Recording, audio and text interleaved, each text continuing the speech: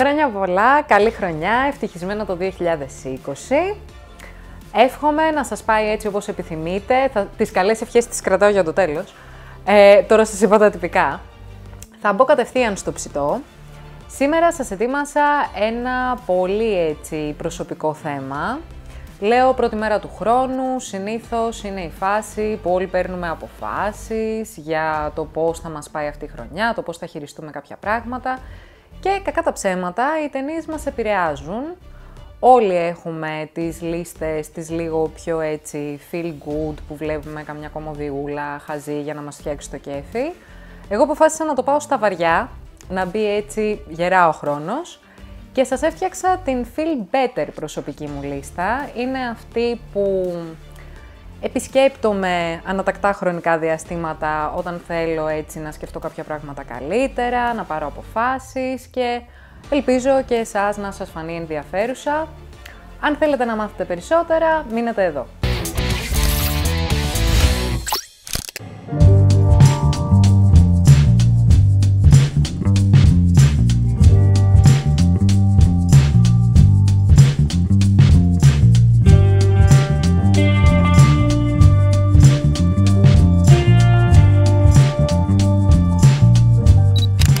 Των χαμένων ποιητών. Το είδα σε μικρή ηλικία, σε μια φάση που ενδεχομένως να μην μπορούσα να το καταλάβω και πλήρως, αλλά ήταν από τις ταινίες που με σημάδεψαν. Ε, έχει ένα συγκεκριμένο κομμάτι μέσα που λέει ότι We don't read and write poetry because it's cute. We read and write poetry because we are members of the human race. And the human race is filled with passion. And medicine, law, business, engineering, these are noble pursuits and necessary to sustain life. But poetry, beauty, romance, love, these are what we stay alive for.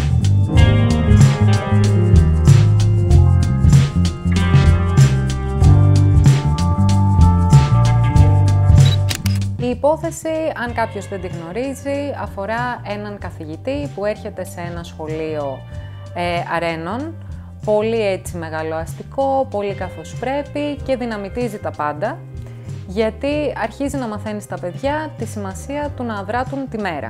Το να ζουν για τη στιγμή, να ζουν για αυτά που αξίζουν, να μην τους τρώνε οι κανόνες, οι συμβάσεις και τα κοινωνικά πρέπει. Και μπορεί αυτή η ταινία να δέχτηκε πολύ πόλεμο ε, και στη φάση που βγήκε. Κάποιοι την θεώρησαν πολύ φιωριτούρα, ότι και καλά αφού το τέλος ήταν αυτό που ήταν. Δεν θα σας πω τι ακριβώς, γιατί έχω την να κάνω πολλά spoiler, οπότε εδώ θα το κρατήσω λιγάκι.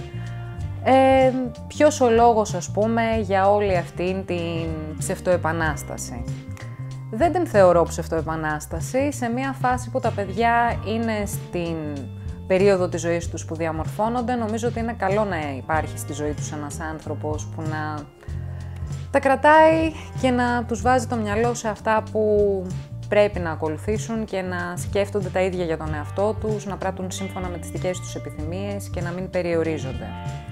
Ο Ρόμπιν Williams ήταν μια πολύ ιδιαίτερη περίπτωση ηθοποιού και ανθρώπου.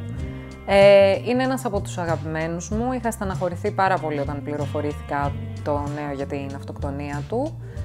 Ε, τον παρακολουθούσα, έχω δει τις περισσότερες ταινίες του, αυτή όμως είναι εκείνη που μου έχει μείνει περισσότερο και όσο κλισέ και μελό έτσι και να φαίνεται, μετά από χρόνια όταν τη βλέπω καμιά φορά λέω ότι μου φαίνεται πολύ θεατρινίζουσα, βρίσκω έτσι πράγματα για να γκρινιάξω. Αλλά αυτό είναι στο λογικό κομμάτι. Στο συναισθηματικό πάντα με χτυπάει και πάντα με βοηθάει να δω τα πράγματα στη σωστή τους οπτική.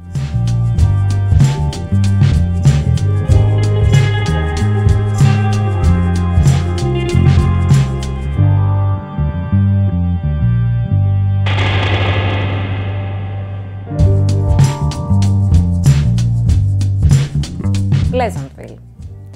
Η ταινία της εφηβείας μου ήταν η αγαπημένη μου όταν ήμουν έφηβη. Ε, η υπόθεση αφορά δύο αδέρφια, δίδυμα, ε, και τα δύο πηγαίνουν λύκειο. Το κορίτσι είναι η Reese Witherspoon, είναι η χαρά της ζωής, είναι τσαχπίνα, είναι στη φάση που αρχίζει να γίνεται δημοφιλής, δηλαδή δεν έχει την πλήρη αποδοχή των συνομιλίκων της, αλλά τα αγόρια έχουν ξεκινήσει να την κοιτάνε, τα κορίτσια έχουν ξεκινήσει να τη ζηλεύουν και αυτό την κάνει και αισθάνεται πολύ καλά. Ο αδερφός της από την άλλη τον υποδίεται ο Πίτερ Μαγκουάιρ, γνωστός από το Spider-Man. Εξαιρετική επιλογή, ε, γιατί είναι σαν τύπος είχε αυτό του βουτυρά του, του λίγο άχρωμου, άοσμου, άγευστου και εδώ έδεσε τέλεια. Είναι ο κλασικός νέρντουλας που δεν μπορεί να πλησιάσει κοπέλα ούτε για να σώσει τη ζωή του. Έχει έναν φίλο και περνάει τις ώρες του βλέποντας ένα σύριαλ της δεκαετίας του 50 που είναι η αποθέωση του πατρίς θρησκεία οικογένεια. Ε, η μαμά είναι καταπιεσμένη, υπάρχει μόνο για να εξυπηρετεί τους άλλους, για να τους περιποιείται. Ο πατέρας είναι αυτός που φέρνει τα λεφτά στο σπίτι, δεν πολύ ασχολείται με τίποτα άλλο. Και τα παιδιά είναι καλοκουρδισμένα στρατιωτάκια που πάντα υπακούν, ε, δεν κάνουν τίποτα το οποίο να είναι προκλητικό. Γενικά όλα κυλούν ήρεμα, φυσιολογικά και εντελώς μαυρό-ασπρά. Γίνεται κάτι με την τηλεόρασή τους σε μια φάση που ο, ε, ο Μαγκουάιρ περιμένει να δει τον μαραθώνιο αυτή της σειράς. Αρχίζουν και τσακώνονται τα αδέρφια, χαλάνε το τηλεκοντρόλ και εμφανίζεται από το πουθενά ένας ηλεκτρολόγος που τους δίνει ένα άλλο τηλεκοντρόλ, περίεργο, που τους βάζει μέσα σε αυτή τη σειρά. Γίνονται οι πρωταγωνιστές της ως τα παιδιά τους ζεύγους που μόλις προανέφερα. Η προσαρμογή για τον Maguire είναι πανεύκολη, για την Witherspoon καθόλου και γι' αυτό το λόγο αποφασίζει να μην προσαρμοστεί. Αυτό που κάνει είναι να γεμίσει τους γύρω της με περιέργεια, με χαρά, να τους δείξει πώς ερωτεύεται ο κόσμος, πώς αγαπάει ο κόσμος, πώς μπορεί να έρθει σε μια νορμάλ επαφή με τον εαυτό του και με τις δικές του επιθυμίες και κάπως έτσι το Pleasantville γεμίζει χρώμα. Από εκεί που όλα είναι μαυρό-άσπρα, οι άνθρωποι αρχίζουν και αποκτούν οι ίδιοι χρώμα, αποκτούν χρώματα λουλούδια, οι πίνακες ζωγραφικής ε, και όλα ξαφνικά γίνονται πιο ειλικρινοί. Πήγαινα να πω πιο όμορφα, αλλά νομίζω ότι γίνονται πιο ειλικρινοί. Πάρα πολύ ωραία ταινία, είναι από τις αγαπημένες μου, την βλέπω σίγουρα μία φορά το χρόνο. Ε, μου άρεσε πάρα πολύ το ότι σου δίνει αυτήν την αίσθηση της απελευθέρωσης, γιατί από ένα σημείο και έπειτα βλέπουμε πώς φεύγουν όλες αυτές οι ρατσιστικές, οι σεξιστικές αντιλήψεις μέσα σε μια τέτοια κοινωνία που για να λέμε την αλήθεια, εντάξει, δεν την έχουμε ξεπεράσει και τελείως. Κατάλοιπά της υπάρχουν ακόμη μέχρι και σήμερα και στην Αμερική, όπου διαδραματίζεται η ταινία, αλλά νομίζω και σε όλες τις υπόλοιπες χώρες. Ε, food for thought, χωρίς να είναι βαριά, χωρίς να είναι δυσκολοχώνευτη, χωρίς να σου προκαλεί ψυχοπλάκωμα. Αυτού του είδους οι ταινίες μου αρέσουν πάρα πολύ και κάπως έτσι είναι και η επόμενη που θα σας αναφέρω.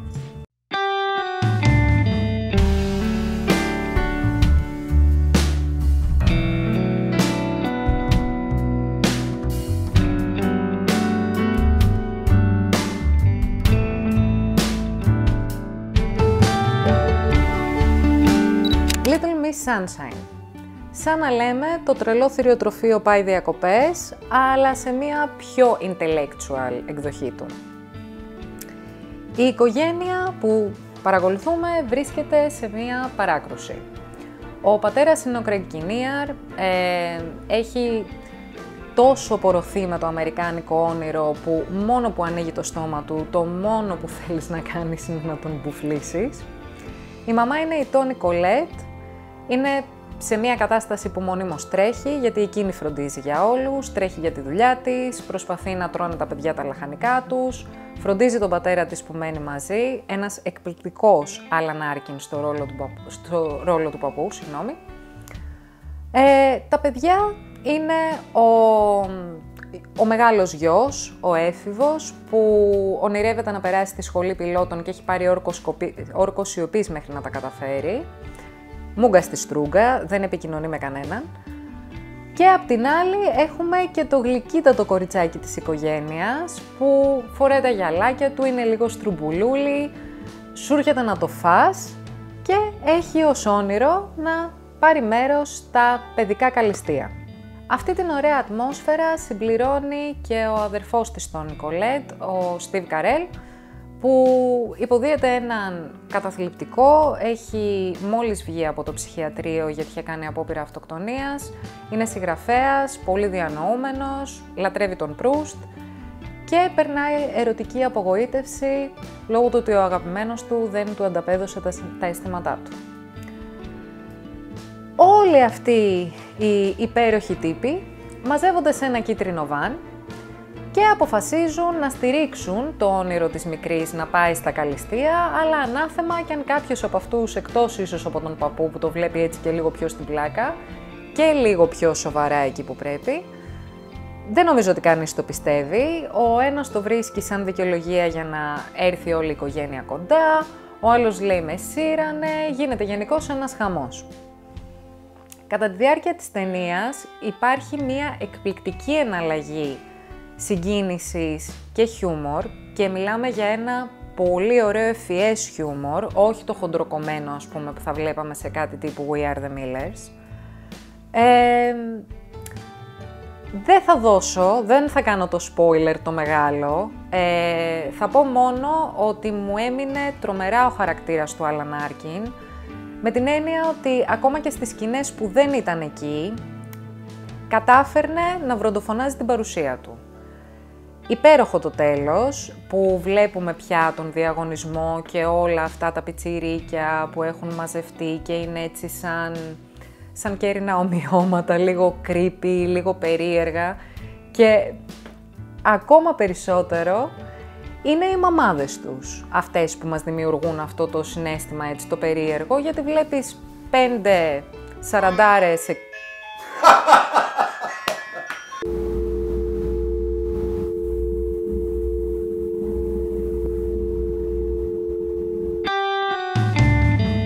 Συγγνώμη γι' αυτό μας βάρεσε το κουδούνι. Συνεχίζω, έλεγα για τις μαμάδες των παιδιών στα καλυστία που εντάξει είναι για σφαλιάριστο λιγότερο. Ε, σφαγιαστική κοινωνική κατακραυγή της ταινίας. Το είχα διαβάσει σε μια κριτική και ήταν ό,τι πιο ταιριαστό μπορούσε να πει κανείς. Ε, γενικά, εντάξει, ε, αξίζει. Όποιος δεν την έχει δει, αυτό που λέω συνέχεια, τρέξτε να τη δείτε, θα με, θα με θυμηθείτε. Επόμενο, Submarine.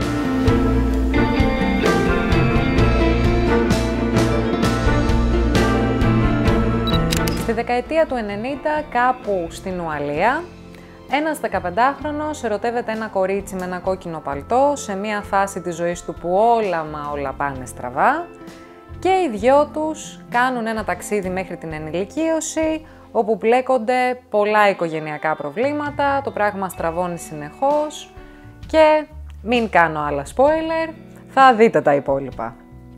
Εξαιρετικό το soundtrack της ταινίας.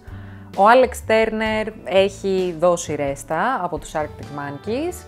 Ο πρωταγωνιστής είναι και σε ένα mini-me του Άλεξ Τέρνερ και αυτό βοηθάει γιατί δεν είναι έτσι πολύ ωραία όλο, βγάζει κάτι το πολύ αγγλουριά ε, ο σκηνοθέτης της ταινίας ε, είχε εμφανιστεί και στο IT Crowd ως ηθοποιός. Αν δεν την έχετε δει τη σειρά, είναι ένα πολύ ωραίο κομικό σειριαλάκι, πολύ έξυπνο. Ε, σχετικά με την ταινία, εντάξει, είναι από τις κλασικές feel good, όπως είναι και το Perks of Being a Wallflower και όλα αυτά τα σχετικά με την ενηλικίωση που κάνουν και τους μεγαλύτερους ακόμα να βλέπουν τη ζωή έτσι λίγο πιο αθώα και πιο ευχάριστα και σαν να είναι εύκολο το να κάνεις μια καινούργια αρχή και κάνει πάρα πολύ ωραίο σετάκι με την επόμενη ταινία. Beginners.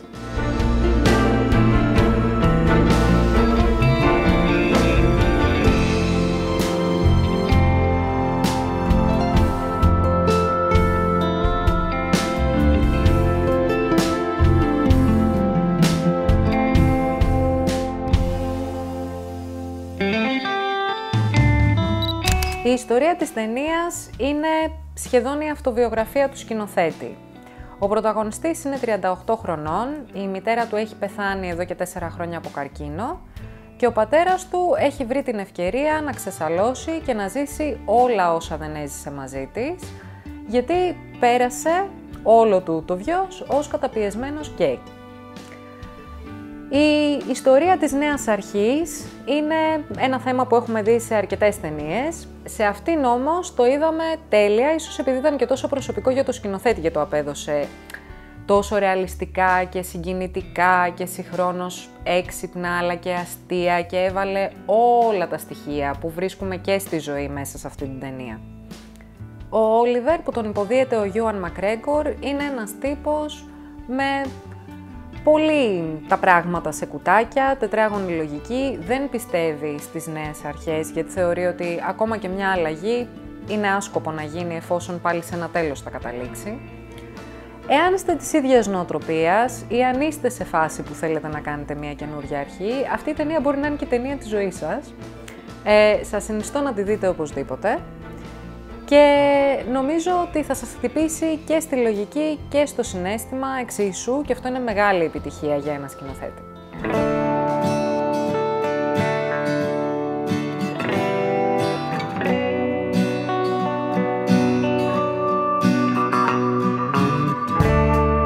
Equals. Η συγκεκριμένη ταινία, να το ξεκαθαρίσω από την αρχή, δεν είναι αριστούργημα. Ανήκει σε ένα πάρα πολύ δύσκολο είδος, αυτό της δυστοπίας, το έχουμε αναλύσει και σε άλλο βίντεο. Δεν έχει τίποτα το πολιτικό, βασικά είναι ο ορισμός του απολυτικ. Το μόνο με το οποίο ασχολείται είναι το κομμάτι των συναισθημάτων και της αγάπης. Μας δείχνει μια κοινωνία στην οποία οι άνθρωποι είναι γενετικά τροποποιημένοι, ώστε να μην αισθάνονται τίποτα ζουν για να δουλεύουν, ε, μπορεί να συμβαίνει ακόμα και το πιο νοσηρά δυστυχές γεγονός γύρω τους, μια απόπειρα αυτοκτονίας, ας πούμε ένας άνθρωπος να πέφτει από τον μπαλκόνι και εκείνη ούτε που υδρώνει τα αυτή τους. Ε, εντάξει, όπως είπα και στην αρχή, δεν είναι η ταινία που έχει δεχτεί τις υπέροχες κριτικές, δεν θεωρείται αριστούργημα, Ωστόσο, νομίζω ότι παίζει πολύ ρόλο σε τι timing θα δει κανείς μια ταινία και πώς θα μπορέσει να συνδεθεί συναισθηματικά μαζί της. Και εγώ έτυχε να τη δώσω ένα timing που με χτύπησε πολύ στο συναισθηματικό κομμάτι. Μου άρεσε πολύ το ρομάτζο, το ότι έδειχνε ένα περιβάλλον τόσο αποστηρωμένο. Ε, γενικά ήμουν έτσι σε μια φάση που σκεφτόμουν όλα αυτά τα πράγματα και είπα ότι Καμιά φορά ίσως και να έχει ενδιαφέρον να βγάζεις και τα πολύ βαριά ζητήματα, όπως είναι το κοινωνικό, όχι ότι, εντάξει, σαφέστατα, το V for Vendetta και το 1984 δεν συγκρίνονται με αυτό. Αλλά, εντάξει, και το να το δεις έτσι λίγο πιο μελό καμιά φορά, ε, δεν είναι και έγκλημα.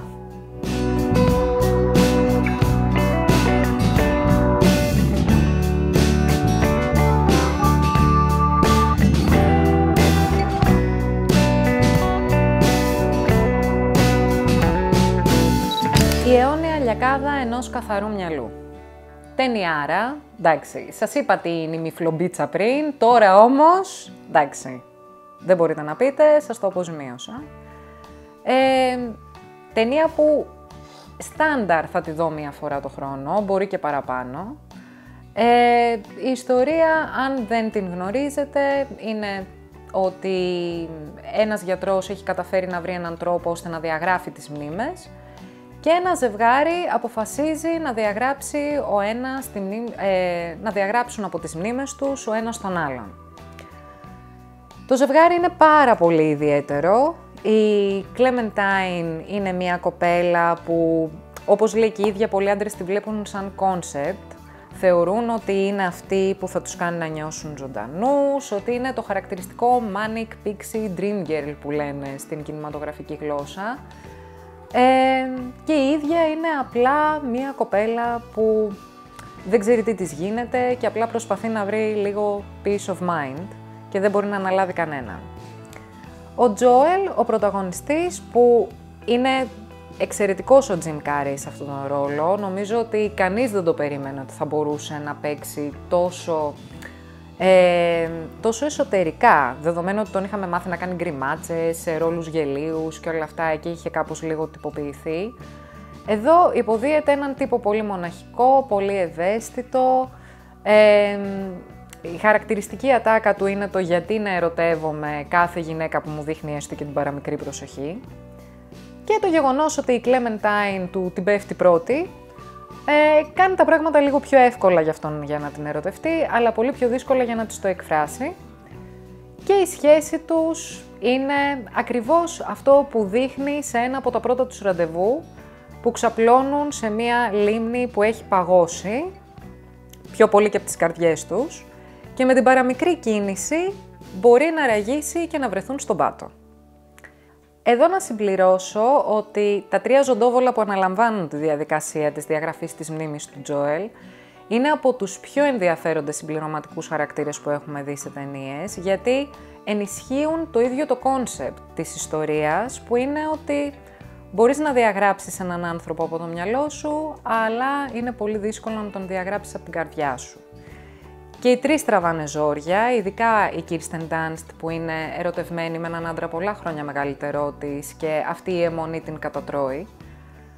Αλλά εντάξει, εδώ μιλάμε για ένα δευτερεύον story. Το βασικό είναι αυτό του Joel και της Clementine που σε περίπτωση που δεν το γνωρίζετε, η ταινία έτσι όπως βγήκε δεν ήταν ακριβώς αυτό που σκόπευαν ο Μισελ Γκοντρί, δηλαδή ο σκηνοθέτης και ο Κάουφμαν, ο σεναριογράφος να βγάλουν.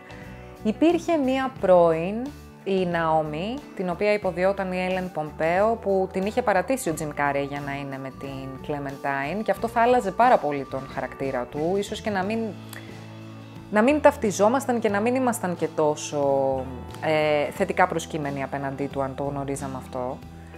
Ε, γενικά, αν δείτε, κυκλοφορεί ένα βίντεο που δείχνει το πώς θα ήταν η ταινία πριν το πετσόκομα, ουσιαστικά θα ήταν μία άλλη.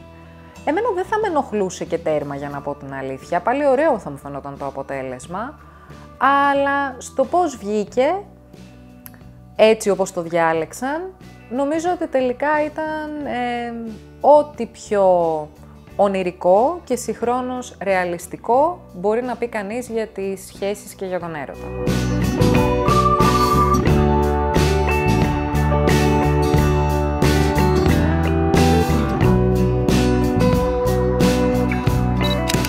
Silver Linings Playbook. Η συγκεκριμένη ταινία είναι μία, ας το πούμε, αισθηματική, λίγο bitter κομμωδία που ασχολείται με θέματα από την κατάθλιψη και την ψυχιατρική μέχρι τις ερωτικές αιμονές, τους οικογενειακούς δεσμούς. Γενικά πιάνει πάρα πολλά θέματα που είναι λεπτά και ευαίσθητα και το κάνει με χιούμορ και με έναν τρόπο που έχω ακούσει από κάποιους να λένε ότι ίσως να ήταν και λίγο προσβλητικός. Θεωρώ ότι δεν ήταν καθόλου. Ίσα ίσα χτύπησε τα προβλήματα στη ρίζα τους και όποιος κατάλαβε κατάλαβε. Ε, είναι από τις αγαπημένες μου ταινίες. Είχε τύχει να τη δω κοντά στα Χριστούγεννα την πρώτη φορά και έκτοτε τη βλέπω πάντα λίγο πριν την πρωτοχρονιά για να σκεφτώ και να αποφασίσω τα resolutions του νέου έτους.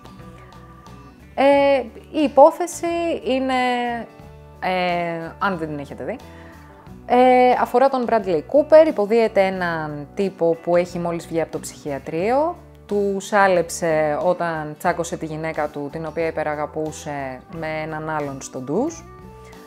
Είναι ένας πρώην χοντρός που γυρίζει στο πατρικό του, είναι πολύ δύσκολο να τον δεχτούν. Ε, όχι τόσο η ίδια του οικογένεια, όσο το να τον δεχτούν ξανά οι φίλοι του και γενικά να τον αντιμετωπίζουν φυσιολογικά χωρίς να είναι ο προβληματικός της παρέας. Μέσα σε όλα αυτά έχει έναν ψυχολόγο τον οποίο λάτρεψα, δεν είναι ο κλασικός τύπος που θα του πετάει τις φροηδικές, ε, να μην πω, α, θα πω αρλούμπες. Ε, όχι ότι ο Φρόιντ έλεγε αρλούμπες, μην παρεξηγηθώ, αλλά εντάξει, καταλαβαίνετε τι εννοώ.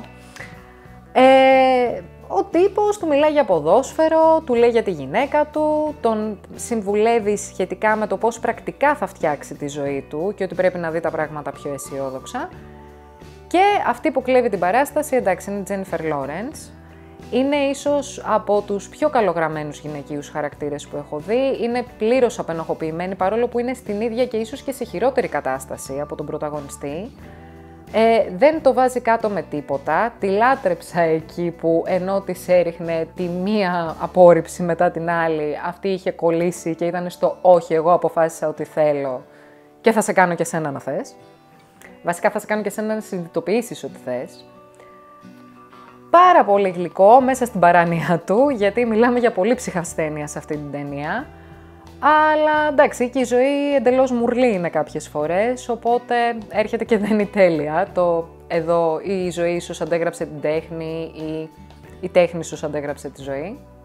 Αυτό που μου αρέσει τρελά σε αυτή την ταινία είναι ότι ενώ πήγαινε, για εντάξει, ήταν συνταγή για καταστροφή στα χαρτιά, άμα το δούμε, ε, δεδομένου ότι έχεις έναν πρωταγωνιστή που δεν τον λες και εύκολο να ταυτιστείς μαζί του, εκτός και αν έχει περάσει κάποιος τέτοια θέματα.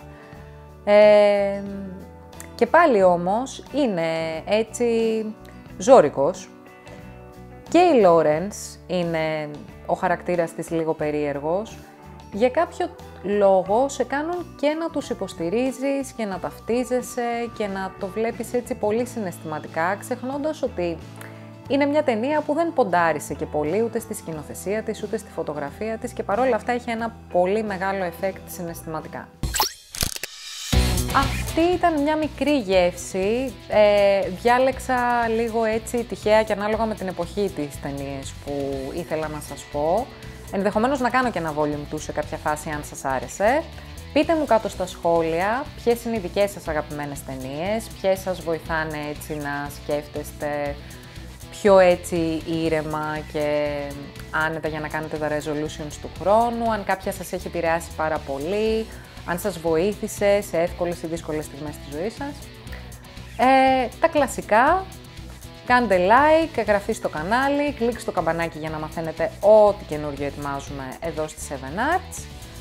Και κατά τα άλλα, να ευχηθώ μία υπέροχη χρονιά, να είναι γεμάτη υγεία, αγάπη και πάνω απ' όλα θάρρος και τύχη για να πραγματοποιήσετε όλα τα happy endings και τα ακόμα πιο happy beginnings που θέλετε να σας έρθουν.